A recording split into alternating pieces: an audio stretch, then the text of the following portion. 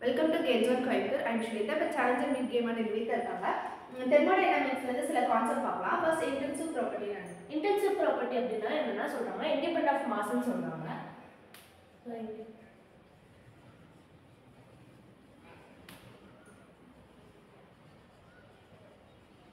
So வந்து mass பொறுத்து இருக்காது. இப்போ ஐ ஐ அப்படின்னு ஞாபகம் வச்சுக்கலாம். ஸோ ஐ ஐ இன்டென்சிவ் ப்ராப்பர்ட்டினா இண்டிபெண்ட் ஆஃப் மாஸ்ன்னு சொல்கிறாங்க அதோட எக்ஸாம்பிள் என்னன்னா pressure density temperature specific energy enthalpy இந்த மாதிரி சொல்லுவாங்க. அதுக்கப்புறம் என்னன்னா ratio of two extensive property வந்து இன்டென்சிவ் ப்ராப்பர்ட்டின்னு சொல்லுவாங்க. அதுக்கப்புறம் இன்டென்சிவ் எக்ஸ்டென்சிவ் ப்ராப்பர்ட்டியோட ஸ்பெசிஃபிக் வச்சு சொல்றது எல்லாமே இன்டென்சிவ் ப்ராப்பர்ட்டியில் வரும்னு சொல்றாங்க. Okay next extensive property extensive property அப்படின்னா டிபெண்ட் ஆஃப் மாஸ்ன்னு சொல்றாங்க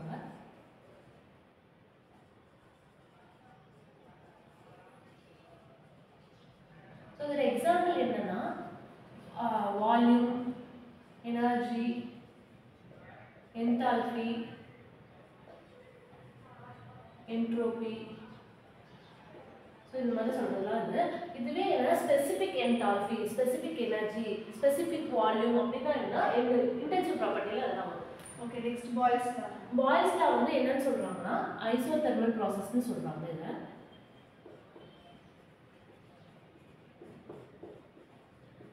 ஸோ ஐசோதெர்மல் ப்ராசஸ் அப்படின்னா என்ன கான்ஸ்டன்ட் டெம்பரேச்சர்னு சொல்றாங்க. ஸோ கான்ஸ்டன்ட் டெம்பரேச்சர்னா அதோட ஈக்குவேஷன் எப்படின்னா P is directly proportional to one by P inverted proportional to one by P வால்யூம்னு சொல்றாங்க. ஸோ பி வந்து இன்க்ரீஸ் ஆச்சுன்னா வால்யூம் வந்து டிக்ரீஸ் ஆகும்னு சொல்றாங்க. இப்போ வந்து பி டிக்ரீஸ் ஆச்சுன்னா வால்யூம் வந்து இன்க்ரீஸ் ஆகும்னு சொல்றாங்க. நெக்ஸ்ட் சார்லிஸ் லா சார்லஸ்ல வந்து என்ன சொல்றாங்கன்னா ஐசோபாரிக் ப்ராசஸ்னு சொல்றாங்க. இதை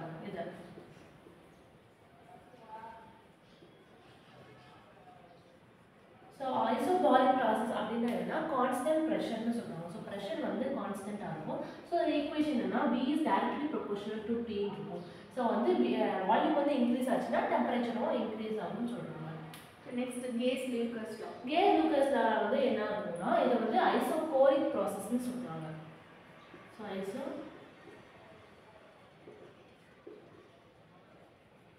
isochoric process isochoric ப்ராசஸ்னா constant volume volume வந்து கான்ஸ்டன்ட்டாக இருக்கும். இதை வந்து எப்படி ஈக்குவேஷன் இருந்தாங்கன்னா P is directly proportional to டீன்னு இருந்தாங்க ஸோ ப்ரெஷர் இன்க்ரீஸ் ஆச்சுன்னா டெம்பரேச்சர் வந்து இன்க்ரீஸ் ஆகும்னு சொல்றாங்க. ஸோ இதை மூணுத்தையும் எப்படி ரிலேட் பண்ணுறாங்கன்னா PV by T is equal to constant னு சொல்றாங்க. ஸோ இதுதான் என்னன்னா ஈக்குவேஷன் ஆஃப் ஸ்டேட்னு சொல்றாங்க.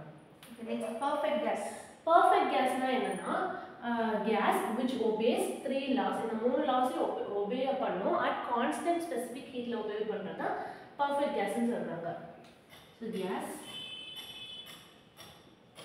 which obey three laws. So என்ன லாஸ்னா பாய் பாய்ஸ்லா சார்லஸ்லா கேஸ் லூக்கஸ்லா இந்த மூணுத்தையும் ஃபாலோ பண்ணோம் அது எப்படின்னா அட் கான்ஸ்டன்ட் ஸ்பெசிஃபிக் ஹீட்ல நெக்ஸ்ட் ஐடியல் கேஸ் ஐடியல் கேஸ்ல வந்து என்னன்னா இதுவும் வந்து மூணு கேஸ் லாஸையும் ஒபே பண்ணும். அட் வேரியபிள் ஸ்பெசிஃபிக் ஹீட்லன்னு சொல்றாங்க. ஸோ ஐடியல் கேஸ்னா என்னன்னா gas which obeys all three laws at variable specific ஹீட்னு சொல்றாங்க. நெக்ஸ்ட் ரியல் கேஸ் ரியல் கேஸ்ல வந்து என்னன்னா இந்த இந்த கேஸ் வந்து இந்த மூணு லாவையும் ஒபே பண்ணாதுன்னு சொல்றாங்க. Gas which does not obeys three laws